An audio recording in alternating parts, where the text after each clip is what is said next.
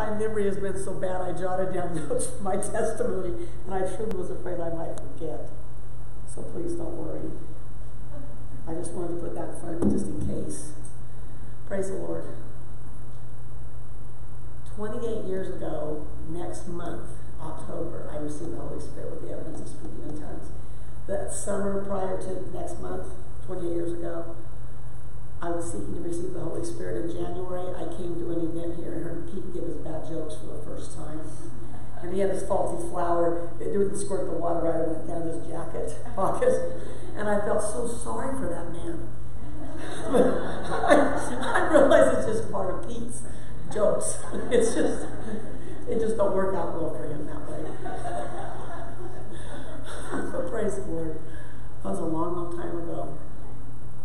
Gosh, I lose my train of thought. Okay, I repented over the summer. I got baptized. Nina and I did the same day in the coffin downstairs. It was really one that Lydia said she didn't think she'd ever return from downstairs.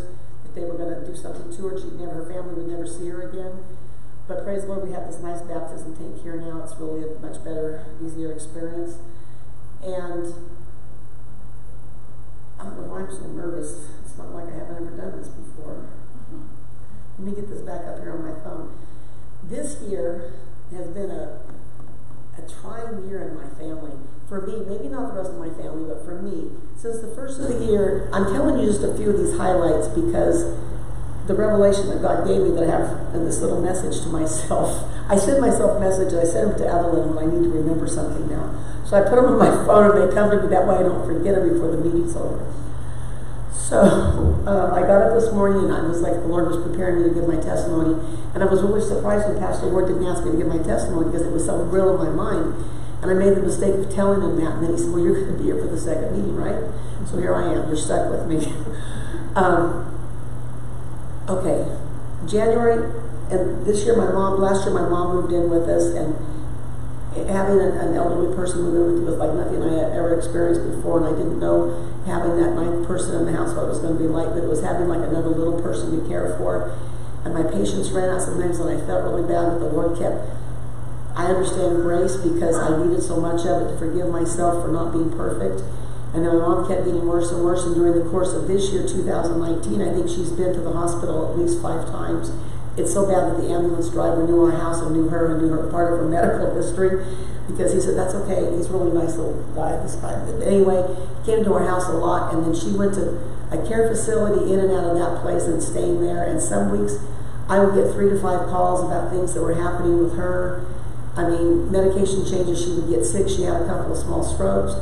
And then we bought this trailer. She got sick actually two weeks after we bought this trailer because I thought, oh, that'd be a great thing to get the grandkids out a little bit during the summer because we have them all summer long and it's hard to get out. So we get that. And some of the grandkids hated going in the trailer, so that really wrecked that a lot because we have one that's real rebellious right now. So I have to stick all that in because two weeks after we bought the trailer, mom, that's when she got sick and never came home again.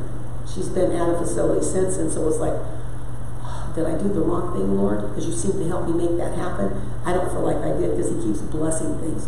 And it's just like, it gives me a little bit of hope. And it's like He keeps, and then trials keep coming and coming and coming. And then Bill kept getting sick. And we were going to go on our second little vacation. Two days before we left, he gets that vertigo. Falls in the gutter. He may not like me saying this.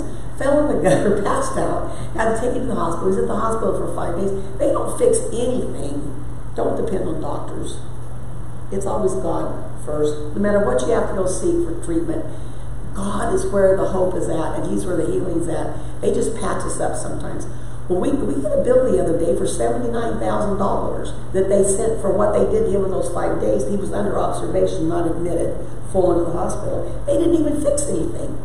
That was just for the nurses looking at him.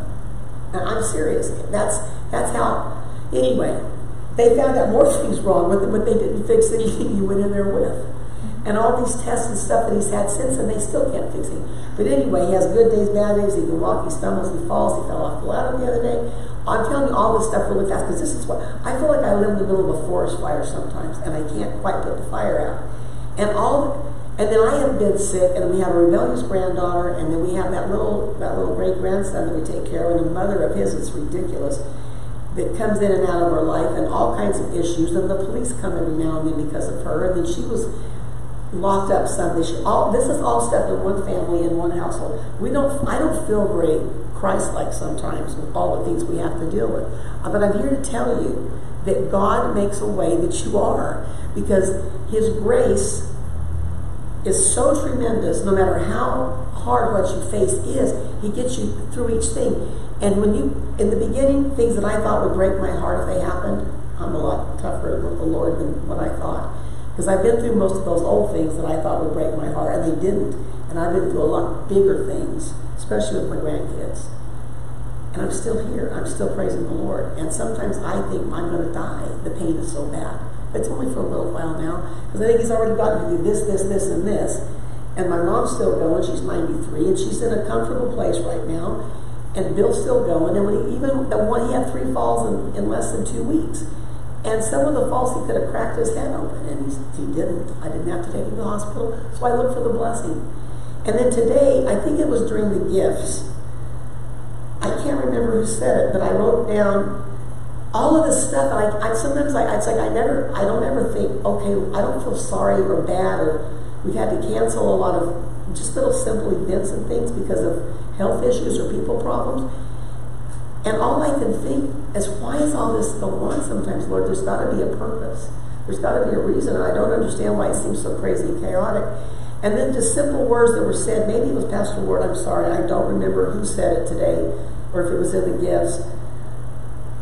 But when Jesus comes back, it won't be our faith. Our faith will, the faith part will go away. Because we're walking by faith, not sight right now. And all God's trying to do is to grow my faith. All of this stuff is to grow my faith so that I don't give up. And I can share whatever I learn, whatever I go through with all of you. And I just find that such a blessing that he sees me fit to be able to just withstand it.